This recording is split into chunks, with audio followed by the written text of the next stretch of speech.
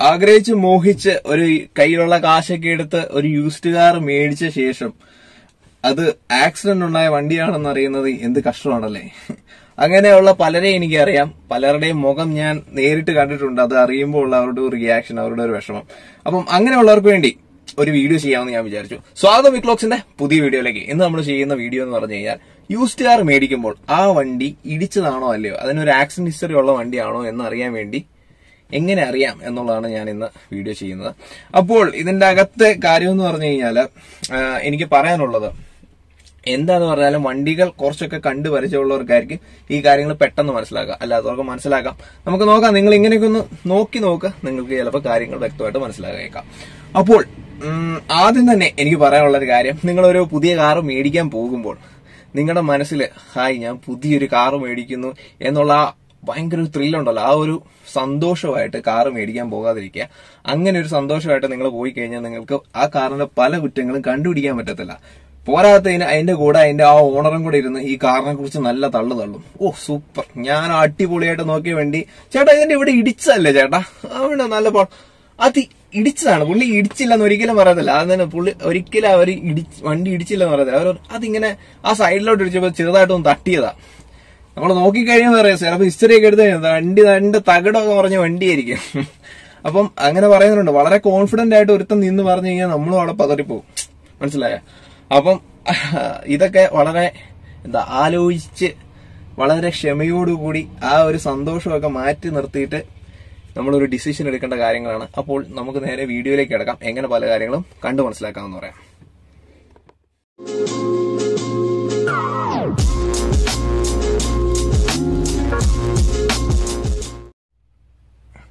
അപ്പം ആദ്യം നമ്മൾ വണ്ടി കൈ കിട്ടിയ ശേഷം വണ്ടി നമ്മൾ നേരെ ഓടിച്ചു നോക്കുമല്ലോ. അപ്പോൾ ഓടിച്ചു നോക്കാൻ നമ്മൾ ശ്രദ്ധിക്കേണ്ട കാര്യങ്ങൾ ആദ്യം ഒന്ന് സ്റ്റാർട്ട് ചെയ്യുക. സ്റ്റാർട്ട് ചെയ്യുമ്പം ആ വണ്ടിക്ക് ചെറിയൊരു വൈബ്രേഷൻ ഒക്കെ കാണുമല്ലോ. ഇനി ഇല്ലാത്ത വണ്ടിയുണ്ട്. ഇപ്പോഴത്തെ വണ്ടികൾക്കൊന്നും വൈബ്രേഷൻ ഇല്ല. അപ്പൊ പഴയ വണ്ടികളിലേക്ക് പോകുന്ന ചെറിയ വൈബ്രേഷൻ കാണും. ആ വൈബ്രേഷനിൽ നിന്ന് തന്നെ ഈ ഫ്രണ്ടിലൊക്കെ എന്തെങ്കിലുമൊക്കെ കിരി കിരി കിരി കിരി എന്നൊക്കെ സൗണ്ട് ഒക്കെ കേൾക്കാം. ആ ഒരു സൗണ്ട് ഒന്ന് ശ്രദ്ധിച്ചു വെച്ചേക്കണം. ആ സൗണ്ട് ഉണ്ടെന്ന് പറഞ്ഞാൽ വണ്ടി ഇടിച്ചു എന്നല്ല അർത്ഥം. ഒന്ന് ശ്രദ്ധിച്ചു വെച്ചേക്കണം. അത്രേ ഉള്ളൂ. അതിഭയങ്കരമായ ഇളക്കങ്ങൾ വണ്ടിക്ക് ഉണ്ടെന്നുണ്ടെങ്കിൽ അല്ലെങ്കിൽ ഇങ്ങനെ എടുക്കുമ്പോൾ അതിഭയങ്കരമായ സൗണ്ടുകൾ എവിടുന്നേലൊക്കെ ഉണ്ടെന്നുണ്ടെങ്കിൽ സംശയിക്കേണ്ടിയിരിക്കുന്നു. അത് ഞാനൊരു കാര്യം പറഞ്ഞു തന്നേ ഉള്ളൂ. എന്നിട്ട് നിങ്ങൾ എന്താ ചെയ്യണമെന്ന് വെച്ചാൽ വണ്ടി ഇങ്ങനെ സ്റ്റിയറിംഗ് ഉണ്ടല്ലോ. സ്റ്റിയറിംഗ് പിടിക്കാതെ വണ്ടി ഇങ്ങനെ നീക്കി നോക്കണം. വണ്ടി ഒരു സൈഡിലേക്കൊക്കെ പോകുന്നുണ്ടോന്ന്. സ്ട്രെയിറ്റ് റോഡിലാണ് കേട്ടോ. നമ്മുടെ ടാറിട്ട റോഡിൽ ഒന്ന് നോക്കി നോക്കണം. അന്നേരം നിങ്ങൾക്ക് കാര്യം മനസ്സിലാവും. അല്ലെന്നുണ്ടെങ്കിൽ നിങ്ങൾ ടെസ്റ്റ് ഡ്രൈവിന്റെ സമയത്ത് ഒന്ന് കൈവിട്ട് കുറച്ച് നേരം നോക്കിയാൽ അത് വലിയ സ്പീഡിൽ കൈവിട്ട് നോക്കല്ല. ചെറിയ സ്പീഡിൽ കൈവിട്ട് നോക്കുക. അന്നേരം വണ്ടി ഒരു സൈഡിലേക്ക് വലിക്കുന്നുണ്ടെന്നുണ്ടെങ്കിൽ സംശയിക്കേണ്ടിയിരിക്കുന്നു. അവിടെ ഉറപ്പിക്കരുത് സംശയിക്കേണ്ടിയിരിക്കുന്നു. അത്ര പറയാനുള്ളൂ. അപ്പോൾ ഇത് ഉറപ്പിക്കാനായിട്ട് ഈ ഒരു വണ്ടി ഒരു സൈഡിലേക്ക് വലിക്കുന്നുണ്ടെങ്കിൽ അത് ഇടിച്ചത് കൊണ്ടാണോ എന്ന് ഉറപ്പിക്കാനായിട്ടുള്ള ഒരു കാര്യമാണ് ഈ വണ്ടിക്ക്. വണ്ടികൾക്കെല്ലാം ഇങ്ങനെ ഒരു പോർഷൻ കാണും. അതായത് ഫ്രണ്ട് വീലിന്റെയും ബാക്ക് വീലിന്റെയും ഉണ്ട്. ഫ്രണ്ട് വീലിന്റെ മുകളിലായിട്ട് ഇങ്ങനെ ഒരു പോർഷൻ കാണും. ഈ ഒരു പോർഷന്റെ പേരാണ് എപ്രോൺ എന്ന് പറയും. എപ്രോൺ എപ്രോൺ എന്നാണ് ഞാൻ പ്രൊനൗൺസ് ചെയ്യുന്നത്. ഇനി അത് വേറെ രീതിയിലാണെങ്കിൽ അങ്ങനെ. ഓക്കെ അപ്പോൾ ഇങ്ങനെയുള്ള ഈ എപ്രോണിന്റെ ഓരോ സ്ഥലത്തും ഇങ്ങനെ നോക്കണം. എവിടെയെങ്കിലും ഒരു പണി നടന്നിട്ടുണ്ടോ നോക്കണം. അതായത് എന്തെങ്കിലും ഒരു വെൽഡഡ് സ്പോർട്സോ അല്ലെങ്കിൽ വേറൊരു സ്ഥലത്ത്. ഇതിന്റെ നോർമലായിട്ടുള്ള പേസ്റ്റിംഗ് ആണ് ഈ കാണുന്നത്. എല്ലാ വണ്ടികൾക്കും ഒരു നോർമൽ പേസ്റ്റിംഗ് കാണും. ഇതുപോലെ നോർമൽ പേസ്റ്റ് ആ നോർമൽ പേസ്റ്റിംഗ് അല്ലാതെ എവിടെയെങ്കിലും ഇതുപോലെ എവിടെയെങ്കിലും ഇങ്ങനെയുള്ള ഭാഗങ്ങൾക്ക് എവിടെയെങ്കിലും ഒരു പണി നടന്നിട്ടുണ്ടോ? ഇവിടെ എവിടെയെങ്കിലും പൊട്ടിയിട്ട് റിപ്പയർ ആയിട്ടുണ്ടോ എന്ന് ശ്രദ്ധിക്കുക. അങ്ങനെ റിപ്പയർ ആയിട്ടുണ്ട്. എവിടെയെങ്കിലും വേറെ സ്ഥലത്ത് പേസ്റ്റിംഗ് ആണെന്നുണ്ട് എന്നുണ്ടെങ്കിൽ ആ വണ്ടി ആക്സിഡന്റ് ആയിട്ട് ഏപ്രോൺ പണിതതാണ്. ഏപ്രോൺ പണിത വണ്ടികൾക്ക് പിന്നെ ഒരു കാലത്തും അതിന്റെ അലൈൻമെന്റ് ശരിയാവത്തില്ല. വണ്ടിയുടെ എന്താണ്? ആ ഒരു ബാലൻസ് ഉണ്ടല്ലോ. ബാലൻസും കറക്റ്റ് ആവത്തില്ല. അപ്പം അങ്ങനെയുള്ള വണ്ടികൾ കാണുവാണെന്നുണ്ടെങ്കിൽ അപ്പോഴേ ബാക്ക് ഔട്ട് ആക്കിയേക്കണം. പിന്നെ ആ പരിപാടിക്ക് നിൽക്കരുത് ആ വണ്ടി എടുക്കാനേ നിൽക്കരുത് ഇനി അതില്ലാഞ്ഞിട്ടും അങ്ങനെ ഒരു പ്രശ്നങ്ങളൊന്നും ഇല്ലാഞ്ഞിട്ടും വണ്ടി വലിയുന്നുണ്ടെങ്കിൽ ജസ്റ്റ് ടയറുകളൊക്കെ നോക്കുക. ടയറുകളുടെ തേയ്മാനം മിക്കവാറും രണ്ട് രീതിയിലായിരിക്കും തേയ്മാനം വന്നിരിക്കുന്നത്. അല്ലെന്നുണ്ടെങ്കിൽ അതിന്റെ സസ്പെൻഷൻ ഏതെങ്കിലും ഭാഗങ്ങളുടെ ഒരു കംപ്ലൈന്റ് ഉണ്ടായിരിക്കും. അത് വലിയ പ്രശ്നങ്ങളില്ല. ധൈര്യമായിട്ട് എടുക്കാം. പിന്നീട് ആക്സിഡന്റ് എന്തെങ്കിലും നടന്നിട്ടുണ്ടോ എന്ന് അറിയാൻ വേണ്ടി ഈ ഷാസി ഉണ്ടല്ലോ ഷാസി ഷാസിയുടെ എക്സ്റ്റൻഷൻ അതായത് ഫ്രണ്ട് വശത്തിലേക്കൊക്കെ നോക്കുക. ഫ്രണ്ട് വശം എന്ന് പറഞ്ഞാൽ ആ കാണുന്ന സ്ഥലമുണ്ടല്ലോ ഇവിടെ. ആ ഫ്രണ്ട് വശങ്ങളിലേക്ക് ഇവിടെ രണ്ട് സ്ഥലത്തും ഉണ്ട്. ഇവിടെ കാണാൻ ഇച്ചിരി പാടായിരിക്കും. ആ അവിടെയൊക്കെ നോക്കുക. അവിടെയൊക്കെ നോക്കി കഴിയുമ്പോൾ റിപ്പയർ ആയിട്ടുണ്ടോ എന്ന് അറിയാം. റിപ്പയർ ആയിട്ടുണ്ടോ എന്ന് പറഞ്ഞാൽ എന്തായാലും ഒന്നെങ്കിൽ മുറി കട്ട് ചെയ്തിട്ട് വെൽഡ് ചെയ്തിട്ടുണ്ടായിരിക്കും.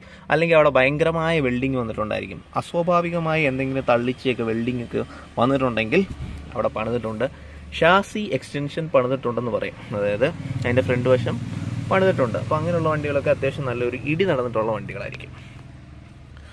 അത് നിങ്ങൾ സാധാരണ വണ്ടികളെ നോക്കി നോക്കി മനസ്സിലാക്കിയ ശേഷം അങ്ങനെ ഒരു വണ്ടിയുടെ കണ്ടു കഴിയുമ്പോഴാണ് നിങ്ങൾക്ക് പെട്ടെന്ന് മനസ്സിലാവത്തുള്ളൂ. അല്ലാതെ പെട്ടെന്ന് നോക്കി കഴിഞ്ഞാൽ നിങ്ങൾക്ക് മനസ്സിലാവത്തില്ല.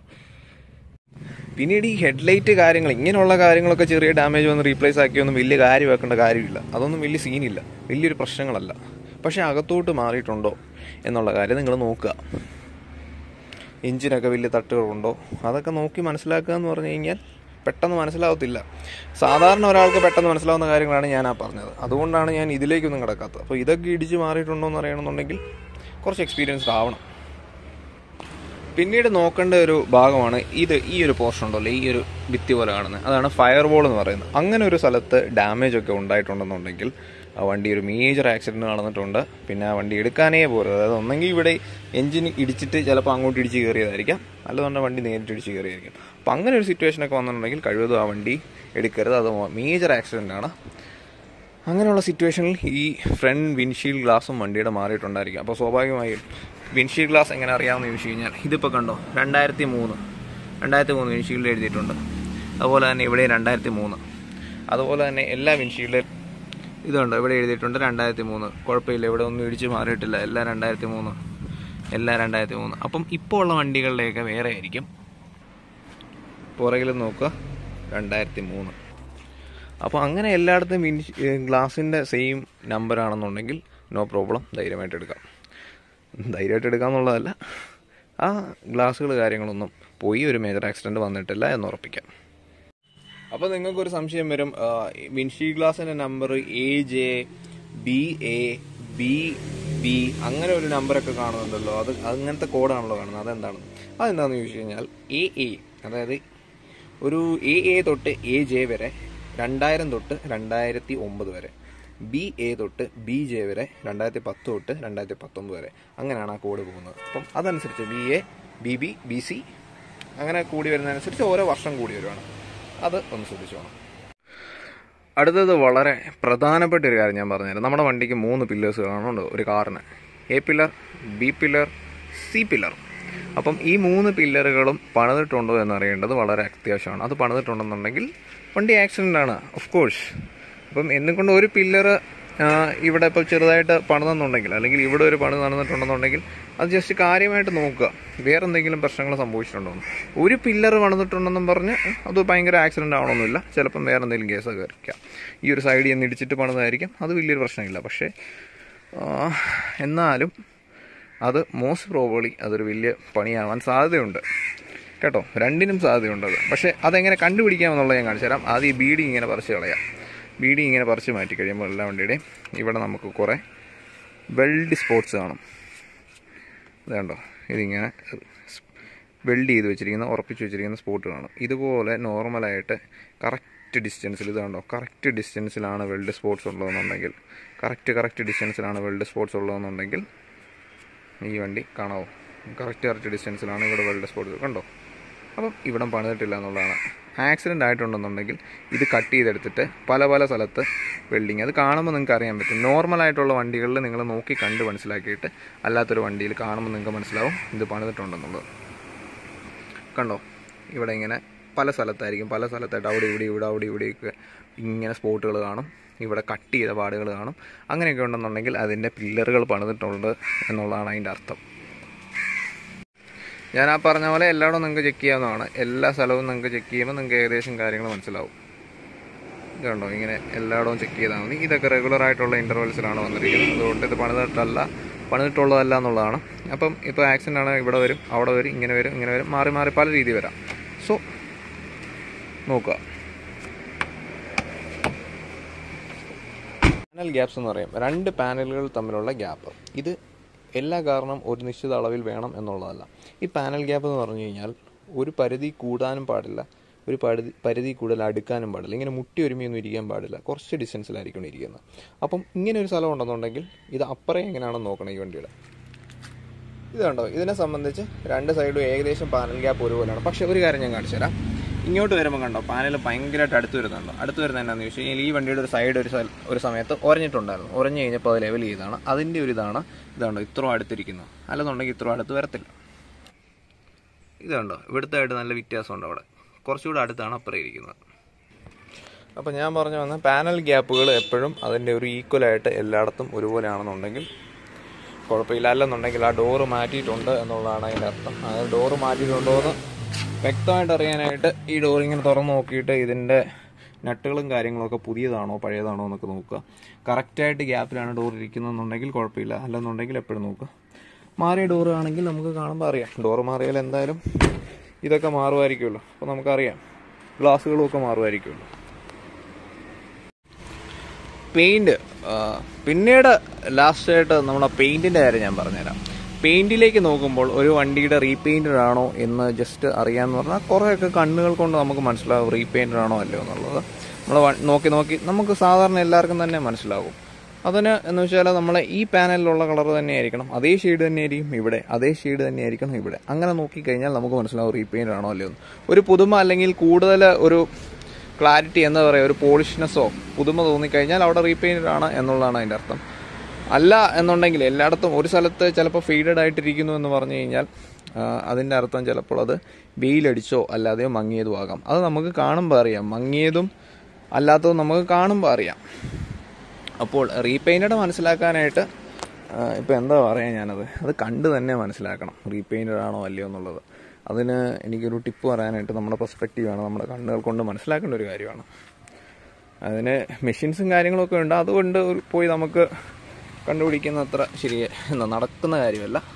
പ്രത്യേകിച്ച് പെയിന്റിങ് ജോബൊക്കെ ചെയ്യുന്നവർക്ക് റീപെയിന്റ് ആണോ അല്ലയോ എന്ന് മനസ്സിലാക്കി. ഇതിപ്പോൾ ഇതിന്റെ ഈ ഒരു ഭാഗമൊക്കെ റീപെയിന്റഡാണ് കണ്ടോ? ഇതിനൊക്കെ തിക്നെസ് കണ്ടോ?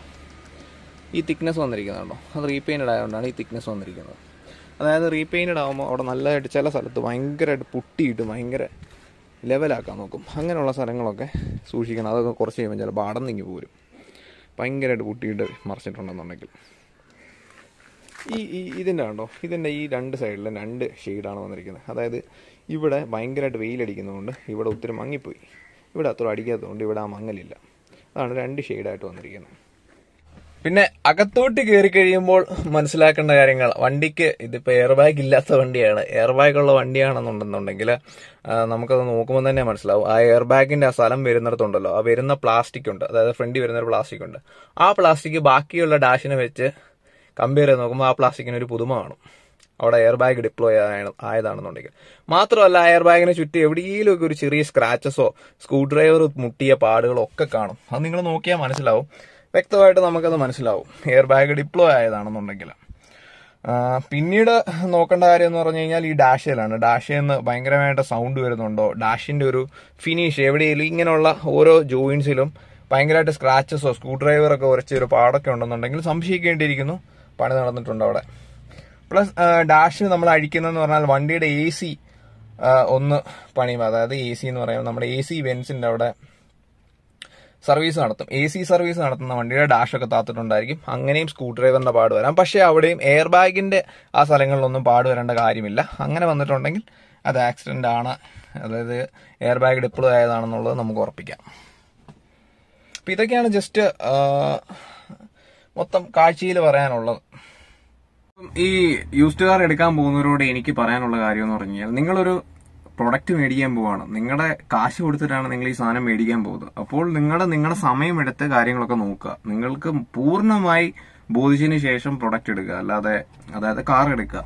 അല്ലാതെ ആ ഓണർ പറയുന്നത് കേട്ട് നിങ്ങൾ എടുക്കാതിരിക്കുക. നിങ്ങൾക്ക് ബോധ്യപ്പെട്ടതിന് ശേഷം മാത്രം എടുക്കുക. നിങ്ങൾ കാശാണ് കൊടുക്കുന്നത്. ഔദാര്യമൊന്നുമല്ലല്ലോ. അപ്പോൾ അതിന്റെ ഒരു അധികാരം നിങ്ങൾ മേടിക്കാൻ പോകുമ്പോഴും കാണിക്കാം. തീർച്ചയായും കാണിക്കാം. പിന്നീട് എന്താണ്? നിങ്ങളുടെ ഈ ആദ്യം തന്നെ ഇത് ആക്സിഡന്റ് ആണോ എന്ന് അറിയാൻ ആദ്യം നിങ്ങൾ ചെയ്യേണ്ട സ്റ്റെപ്പ് എന്ന് പറഞ്ഞാൽ ഓണറോട് തന്നെ ചോദിക്കുക ആക്സിഡന്റ് എന്തെങ്കിലും ഉണ്ടായിരുന്നു നല്ല ജെനുവിൻ ഓണർ ആണെന്നുണ്ടെങ്കിൽ പുള്ളി പറയും ആക്സിഡന്റ് ആയിട്ടുണ്ടെന്ന് പറയും. അല്ലാത്തവർ മോസ്റ്റ് പ്രോബ്ലി അത് മറച്ചു വെക്കാനാണ് ശ്രമിക്കുന്നത്. ആക്സിഡന്റ് ഉള്ള വണ്ടികളാണെന്നെങ്കിൽ ചിലർ അതിന്റെ സർവീസ് ഹിസ്റ്ററി നമുക്ക് എടുത്തു തരത്തുമില്ല ഓണേഴ്സ് അപ്പോൾ ഇനി എടുത്തു തന്നാലും അതിൽ നിങ്ങൾക്ക് ഒരു ഉറപ്പിക്കാൻ പറ്റത്തില്ല ആക്സിഡന്റ് ഉണ്ടായതാണെന്ന്. കാര്യം ആ സർവീസ് ഹിസ്റ്ററിയിൽ ഓണർ ഇത് ആക്സിഡന്റ് ഹിസ്റ്ററി ഇല്ല എന്നും പറഞ്ഞ് അതിന് ആക്സിഡന്റ് ഇല്ല എന്നുള്ളതല്ല അർത്ഥം. കാര്യം എന്താണെന്ന് ചോദിച്ചു കഴിഞ്ഞാൽ അത് വെളിയിൽ കൊണ്ടേ അവർക്ക് പണിയിക്കാം. ആ സർവീസ് സെന്ററിൽ തന്നെ പണിയിക്കണമെന്നില്ല. ഇനി ആക്സിഡന്റ് ഹിസ്റ്ററി എന്ന് പറഞ്ഞ ആ സർവീസ് ഹിസ്റ്ററിയിൽ കണ്ടാൽ അതെല്ലാം മേജർ ആക്സിഡന്റ് അല്ല? എന്താണ് മാറിയിരിക്കുന്നത്? എത്ര രൂപയുടെ പണിയാണ്? എന്തൊക്കെ സാധനങ്ങളാണ് മാറിയിരിക്കുന്നത് നോക്കുക. അതനുസരിച്ച് നിങ്ങൾ മനസ്സിലാക്കുക. അത് ഒരു മേജർ ആക്സിഡന്റ് ആണോ? അതായത് ജസ്റ്റ് ഒന്ന് ബമ്പർ മാറിയെങ്കിൽ അല്ലെന്നുണ്ടെങ്കിൽ ഒരു സൈഡിൽ എന്തെങ്കിലും ഹെഡ്ലൈറ്റോ കാര്യങ്ങളോ ഒക്കെ കുറച്ച് ഫ്രണ്ടിലെ മാത്രം ആ റേഡിയേറ്റർ ഇരിക്കുന്ന ആ ഭാഗങ്ങളൊക്കെ മാത്രം മാറിയെന്നുണ്ടെങ്കിൽ അത് ചിലപ്പോൾ ആക്സിഡന്റ് ഹിസ്റ്ററി ആയിട്ടായിരിക്കും വരുന്നത്. ഇൻഷുറൻസ് ചെയ്തിട്ടുള്ളതാണെങ്കിൽ ആക്സിഡന്റ് ഹിസ്റ്ററി എന്നായിരിക്കും വരുന്നത്. അതുകൊണ്ട് അത് വലിയൊരു ആക്സിഡന്റ് ആവണമെന്നില്ല. ചിലപ്പോൾ ഫ്രണ്ടിലെ വിൻഷീൽ ഗ്ലാസ് തേങ്ങ വീണ് പൊട്ടിയിട്ട് മാറിയതായിരിക്കും. അതൊരു ആക്സിഡന്റ് ഹിസ്റ്ററി എന്ന് പറഞ്ഞായിരിക്കും വരുന്നത്. പക്ഷെ എന്നും കൊണ്ട് ആ വണ്ടി കൊള്ളത്തില്ല എന്നുള്ളതല്ല. അത് എങ്ങനെയാണ് ഇമ്പാക്ട് ഉണ്ടായിരിക്കുന്നത്? എവിടെയൊക്കെയാണ് തകർച്ച വന്നിരിക്കുന്നത്? ഞാൻ പറഞ്ഞിരിക്കുന്ന പോലെ അട്രോണിലൊക്കെ ഇടി നടന്നിട്ടുണ്ടെന്നുണ്ടെങ്കിൽ എടുക്കരുത്. അതായത് ഒരു സൈഡ് മുഴുവൻ ഇടിച്ചു പോയിട്ടുണ്ടെന്നുണ്ടെങ്കിൽ എടുക്കരുത്. ഈ പില്ലേഴ്സ് എല്ലാം പോയിട്ടുണ്ടെന്നുണ്ടെങ്കിൽ എടുക്കരുത്. അങ്ങനെയുള്ള ഒരു അഭിപ്രായമൊക്കെ എനിക്കുള്ളൂ പില്ലേഴ്സ് പോയി എന്നും പറഞ്ഞ് വണ്ടി എടുക്കരുതെന്നില്ല. കാര്യം എന്താണെന്ന് വെച്ചാൽ അതൊരു ചോയ്സ് ആണ് പില്ലേഴ്സ് എല്ലാം പോയി എന്നും പറഞ്ഞ് വണ്ടി നശിച്ചു എന്നുള്ളതിന്റെ അർത്ഥമില്ല. പക്ഷെ അതിന്റെ അതൊരു പ്രശ്നം എന്ന് വെച്ചാൽ ആ വണ്ടി ചിലപ്പോൾ തകിടം മറിഞ്ഞതായിരിക്കാം എന്നുള്ളൊരു ചാൻസ് ഉണ്ട്. അതുകൊണ്ടാണ് ഞാൻ പറഞ്ഞത് പില്ലേഴ്സ് ഉള്ള വണ്ടികൾ എടുക്കരുതെന്ന് പറഞ്ഞത്. അപ്പോൾ ഇതൊക്കെ എന്താണ് ഒരു എക്സ്പീരിയൻസ് ആയിട്ടുള്ള ഒരാൾക്കാരുമായിട്ട് പോകുന്നതാണ് എപ്പോഴും നല്ലത്. അങ്ങനെ ഒരാളെ കിട്ടുന്നില്ല എന്നുണ്ടെങ്കിൽ നിങ്ങൾക്ക് ഇങ്ങനത്തെ ടിപ്സ് നോക്കാം. എന്റെ കൂടാതെ വേറെ ഒത്തിരി വീഡിയോസ് യൂട്യൂബിലുണ്ട്. അതൊക്കെ നിങ്ങൾക്ക് തപ്പാവുന്നതാണ്. അപ്പോൾ ഇതൊക്കെയാണ് എനിക്ക് ഈ ഒരു ഭാഗത്തിൽ സംസാരിക്കാനുള്ളത്. നിങ്ങൾക്ക് എന്റെ വീഡിയോ ഇഷ്ടപ്പെട്ടു എന്നുണ്ടെങ്കിൽ ലൈക്ക് ചെയ്യുക കമന്റ് ചെയ്യുക ചാനൽ സബ്സ്ക്രൈബ് ചെയ്ത് എന്നെ സപ്പോർട്ട് ചെയ്യുക. വീണ്ടും ഒത്തിരി ഒത്തിരി വീഡിയോസ് ആയിട്ട് വീണ്ടും ഞാൻ വരുന്നവരായിരിക്കും. അതുവരേക്കും it's me Vinayak Rudrabano signing out from week